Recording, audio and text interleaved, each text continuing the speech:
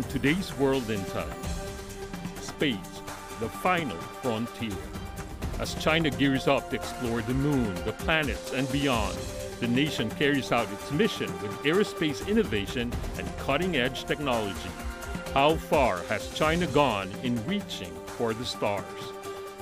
And currently, we have uh, decided to have uh, more than nine uh, uh, payloads to be flying on, on board the Chinese station, and the second batch is to be opened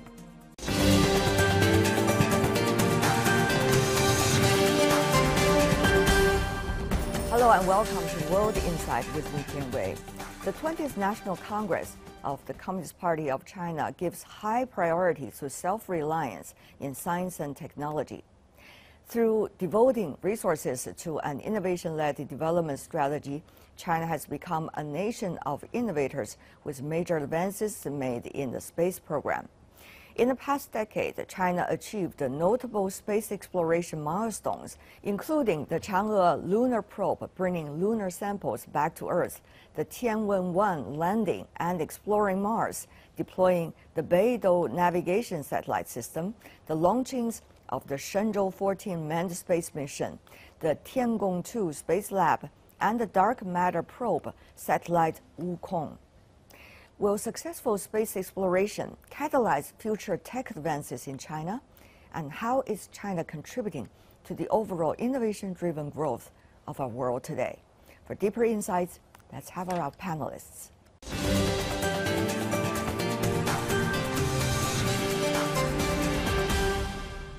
For more on China's aerospace development in western the United States, uh, Keith Cowing, a former NASA rocket scientist and the editor of NASAWatch.com. In Beijing, Xu Yansong, Director General of the Asia Pacific Space Cooperation Organization. Welcome to both of you, gentlemen. Long time no see, but certainly a lot of great news in terms of uh, uh, space development uh, for all but let's start with China. Uh, Mr. Xu, with the CPC Party Congress uh, convening right now, a lot of achievements have been mentioned in the opening ceremony report. Exactly. We have heard that the uh, Mars mission uh, from China and also the lunar mission, as well as, as the Tiangong construction has been mentioned. Uh, we know that the Mars mission uh, went uh, Tianwen has been winning the international prize in the International Astronautical Congress. And also that is one of the greatest engineering achievement uh, with one lander and orbiter and the rover at the same time, uh, launching in one con configuration. And also uh, images are transmitting coming back from Mars surface to the orbiter and then related to uh, to Earth. And also we're seeing the Mars uh, images for the first time from China. Yeah. And also the lunar mission has also been achieved by sample returning missions. Uh, now we have one point more than 1.7 uh, uh, kilograms of uh, uh, um, moon matters, and also we're studying those. And also the con construction of Tiangong is near its completion. Mm. The core module and also one of the modules has been launched, and three astronauts are being are working in this station, and we're expecting overlapping with another three. Certainly, um, we see a lot of uh, pleasant uh, response about international space development from all corners of the world. Of course, there's some kinds of competition, but uh, Keith, looking at the list uh, Mr. Xu just gave, uh, uh your response about uh, where China is in the overall contribution of space development. Well, I've always felt that the more space stations, the better, the more people in space, better. and for every nation, there's 10 reasons to go into space. And you now see, uh, from a Western perspective, um, people say, well, you know, China's do, or India or Japan are doing things we did 50 years ago. And my response is, why are they excited about it? And why are we saying, oh, ho, hum? What, are, what is the rest of, of the world picking up on that's interesting? So I think uh, for us here in the West, China's accomplishments and those of India and other countries serve as a prompt for us to, you know, get back in the saddle and get back to exploring space. Uh, what about the space station, uh, Tiangong, uh, Mr. Xu, uh, that is now, as you said, on the way? Uh, where are we now, and how much can we expect from international cooperation? I think there are uh, three elements the station construction itself, the astronauts, and the application of the station. The construction of the station is, is to be completed by end of this year by the final launching of uh, Mengtian segment. So that will be uh, configuring a T-shaped uh, station uh, uh, with total of 92 metric tons. And also there's another one, uh, which is a, a, space telescope that is going to be um, in the science station orbit that's going to be orbiting around the station. That was originally designed as part of the station, but it was separated so that has a, a good observation and also convenient maintenance from the astronauts. The second segment is the astronauts themselves. We have um, the European astronauts being trained in China, and also Chinese astronauts extended, exchanged their uh, trainings in Europe. So they have also uh, started learning Chinese. The astronauts are going to be uh, part of the station in the future. The construction phase will be completed by the Chinese astronauts.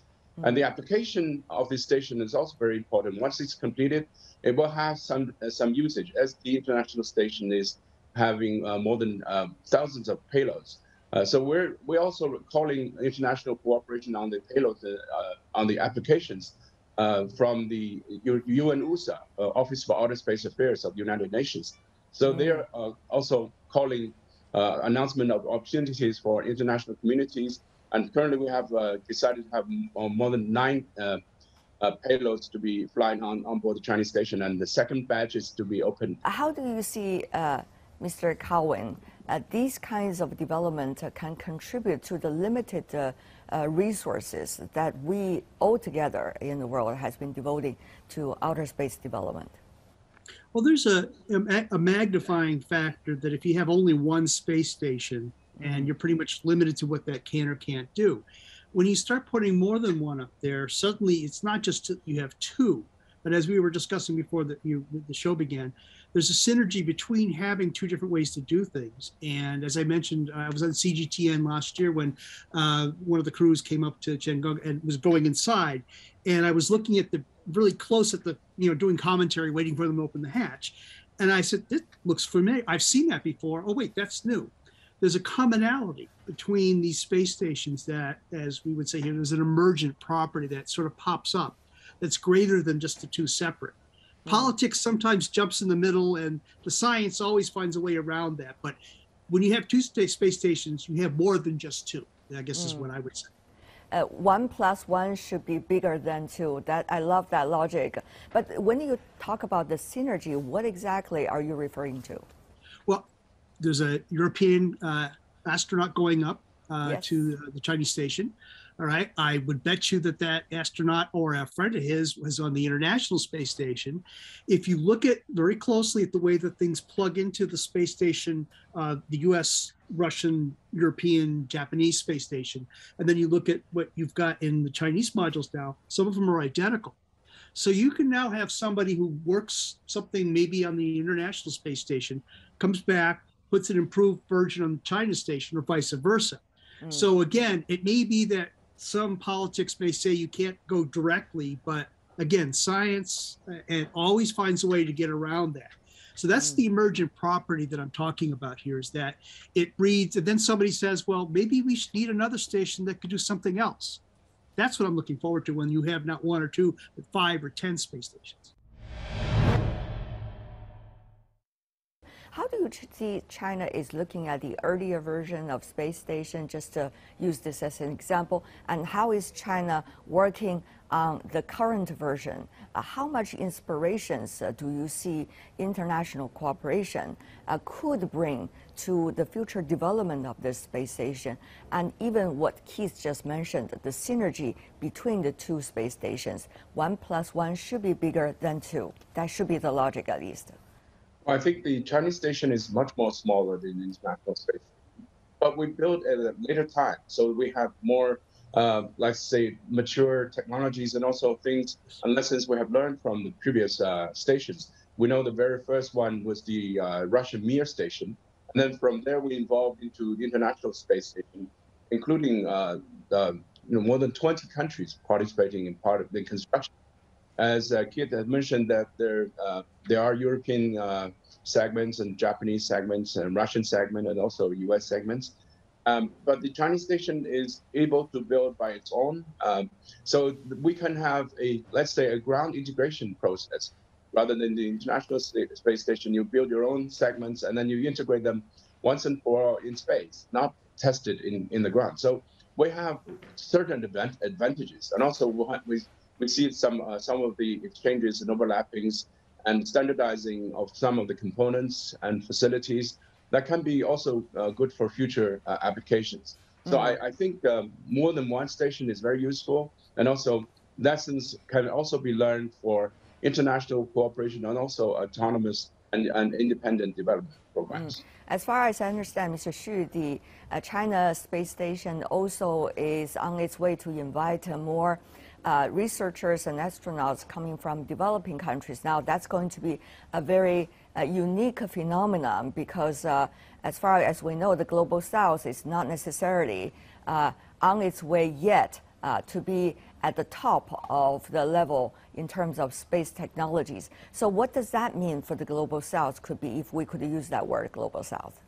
Well, I think um, uh, we all we have always attached importance to developing countries, uh, in particularly technologies, and we have very uh, good cooperation on South. We will call it model of South-South cooperation, which is mm. China Brazil uh, joint construction of satellites, and also we have uh, the calling of the uh, the payload and instruments on board the Chinese station. That is has a very important criteria. One of the criteria is uh, that has never been flown on the International Space Station. So there has to be, uh, you know, uh, creativities and innovative, mm. In inside these programs and and yeah. Uh, and, and application projects. So these mm. are, I think, one of the way to encourage the developing countries to fly on board the Chinese mission. Mm. Now, Mr. Cowing, we see that China and also many countries working with China uh, is having a whole generations of new technologies that many people say reminds us of the time during the 1960s and 70s when the United States was putting tremendous effort into uh, space development uh, uh of that phenomenon. It's not just about space itself, but also technologies related to it uh, and eventually contributing to the space technology. So, Mr. Cowing, how do you see a whole generation of uh, innovation as a result of space development?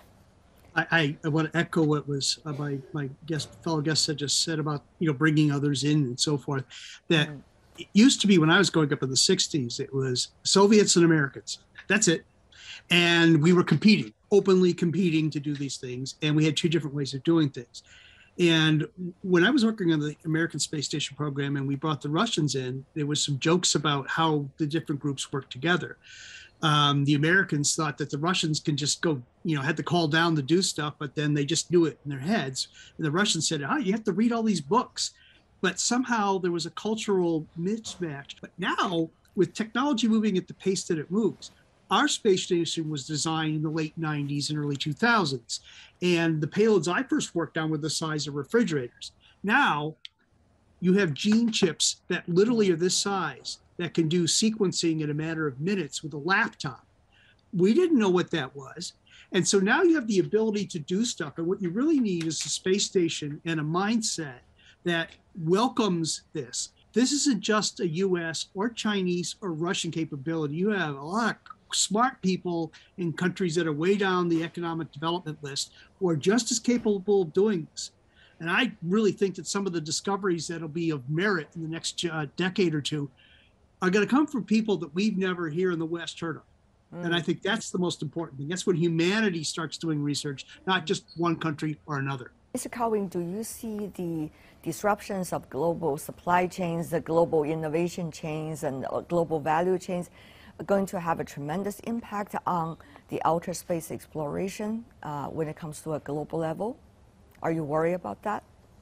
It's kind of interesting because you, you, know people will say, "Well, what did you do before Federal Express?" And the answer was, "We you didn't. You, you planned." Well, now you just assume that you have this capability. Up until just a few years ago, the rockets that we put things into space with were built by governments and governments only. Then you had companies like SpaceX and whatnot that now can launch these things. As Elon Musk said, when you don't remember what day something's launching, when it becomes boring, you know you've done it right. Well, now I don't even remember when SpaceX is going to launch again. And so we're getting to that point. We're about this far away from it, where not just to the US, but in China and elsewhere, where you don't really think about the logistics anymore because it's either cheap or it's easy to do. You think more on what do I want to do when I get there and how do I go there more often?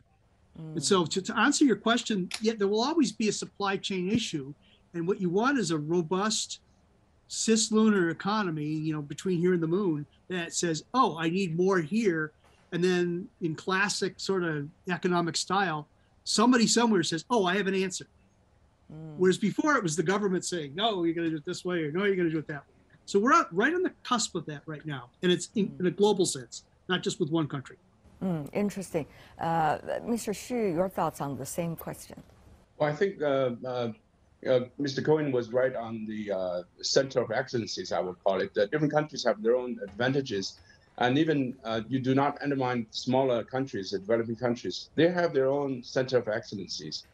we, we do have these experiences in, in the organization I work on, APSCO. We, we have eight developing countries working in these organizations and each of them have their own advantages and uh, center of excellencies. So you have to bring them their advantages together uh, to implement certain projects for the benefits of the whole uh, uh, organization. And in this case, the whole supply chain for the whole uh, whole universe or whole, whole whole world, so that we can benefit uh, differently from different countries. And mm. for example, we when Cohen mentioned about logistics, we're we're thinking about the platforms. So platform um, the Chinese space station is one platform that you can do experiments of your own country.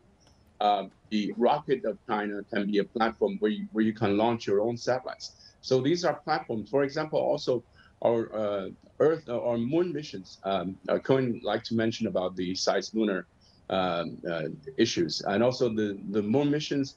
Uh, for example, the Chang'e 4 mission, which, which was a redundancy of Chang'e 3, has opened to international cooperation, which we have four European advanced instruments flying on board the mission. Also, uh, a also a Saudi Arabia camera that is flying on the on the mission as well. So taking images of, of the whole uh, lunar surface. So these are cooperations that we have. We tend to provide platforms to, to developing countries, fly them to give them an opportunity to fly on mm. these hmm. missions. One thing I have to mention, even though um, I don't want to make it the center of the discussion, is uh, geopolitics. Uh, it is a matter of fact. Uh, we do not want to be naive here, uh, but uh, that poses a tremendous strategic question for everyone, I guess, for working for the outer space development. Remember, after the Cold War, the sole uh, mission of the outer space development is to help the human beings to find other options. And we together are facing so many problems, uh, you know, climate change and also natural disasters. Uh, we need the new generation of technologies that would bring better quality of life.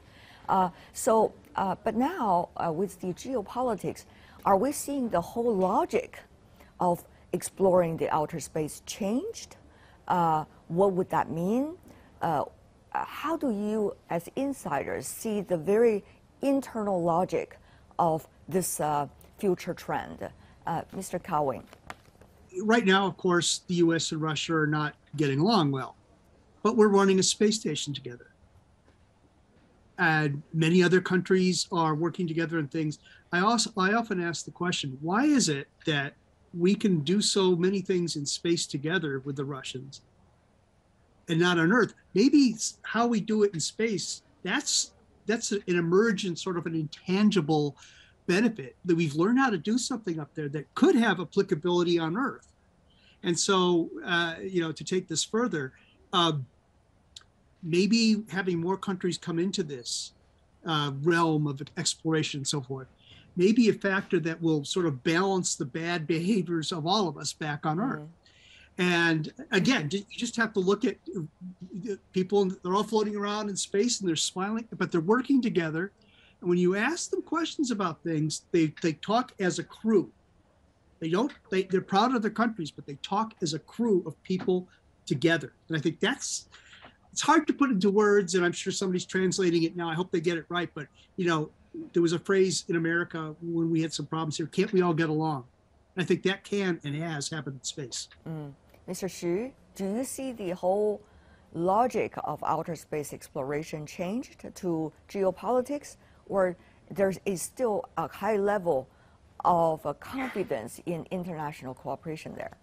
Well, I think there are uh, two different things. Uh, one is uh, what we call the um, um, dual-use technologies, uh, rocket technologies, uh, things being controlled by, by MTCR and ITAR issues. And these are constra constraining the, the domestic developments of different countries. China is developing its own program. We have also a comprehensive industry that can do this. Uh, and also we can uh, we can do satellites with the ITAR-free uh, components. Um, but these are what we call it the earthly matters, um, what we do on on Earth. when you when you mention about explorations, in particular, lunar missions, Mars missions, and scientific missions, we have less sensitive issues involved in these programs. For example, uh, the lunar mission, we have uh, exchange of data with NASA and also with international communities. We open the data source uh, for the lunar reconnaissance uh, programs and Mars mission. And also we, the sample returned from the lunar surface by the Chang'e 5 mission is also open for um, uh, collections and usage by uh, different international organizations. We have also policies on that. So uh, the ex exploration programs, uh, is particularly joint international programs, is less sensitive. I think it's more more international cooperation uh, oriented projects. But also, I would like to mention that the there's also competition and also there there are also cooperations. Uh, competition, um, maybe we go further, but cooperation, uh, cooperation we go further. Competition we go faster. So different countries have their own uh, different programs. So these can be uh, uh, also can be seen in different angles, political angles, and also uh, as uh, Mr. Cohen mentioned, the, the crude angles. You cannot you, have, you cannot involve politics every day in your in your crew uh, activity. The other thing I want to ask is another interesting example. Um, the Earth matter that has been brought back as a result of the earlier uh, moon missions, uh, for example, now in the hands of China. Uh, now, Mr. Xu, how do you see uh, the latest researches related to that? Uh, what does that mean for could be for a whole new generation of discovery about the moon? I think um, we, we uh, the Chang'e 5 landing site is is a relatively new uh, uh landing uh, new areas of the lunar involvement. So we have a, a examples. So samples have been returned to the scientific community to study uh, their their chemical, physical, isotopic figures and and, and data. So this can also be used uh, by the scientific community to compare with the samples returning from Apollo missions. So this can have a more comprehensive understanding of the involvement of uh, the moon and also the, the whole uh, cislunar uh, uh, uh, activities of, of the whole Earth and moon relations. So mm-hmm. maybe that, that can also contribute to the scientific communities in the study of the moon. Mr. Cowing? You know, th- again, to the issue of um, we in space, of course, you see people floating around. I like to say we everything we do in space, we stand on the shoulders of somebody who did this before. Mm-hmm. And uh, I mean, I, I I can speak for a lot of people here. When China landed on the far side of the moon, we're hooray! We wanted to do that, but we never got to do that during Apollo. And so you just the, the politics weren't involved in any of this. We were just like so happy that this had happened. And then uh, now that a sample return, oh great, more moon rocks. So this it doesn't take much to transcend a lot of this other you know earthly stuff as, as was described. Mm. uh, and I, I, you also see the barrier being lowered. I, for example i'll just pivot to something else. Um, one thing that they do on the international space station now is they launch a lot of little cubesats which are about this big. And you see nepal ghana and countries that don't again have economic issues they have children now who go to school and say, I built and launched a spacecraft. That's pretty profound. And I think we haven't really seen the full implementation. I, I, I certainly hope China's space station is going to be doing that as well. But now we're sending some of those small satellites. Again, China, when they went to Mars, they had one that detracted, uh, came off and took some pictures and then another couple went to the uh, with another American spacecraft, and now we have some of these small satellites going around the moon. So it's not impossible for your a school just about anywhere to build an actual spacecraft that could actually be launched and actually do stuff. That's a profound thing that I think again we haven't seen the full implementation of that, but I, I just can't wait to see what happens when, you know, if there's 200 countries in the world, you have 200 countries with satellite de- development capabilities. Uh, having said that, though, we see different emphasis countries are putting on in the outer space development. Uh, China now is looking at the moon and together with the United States, also looking at the Mars.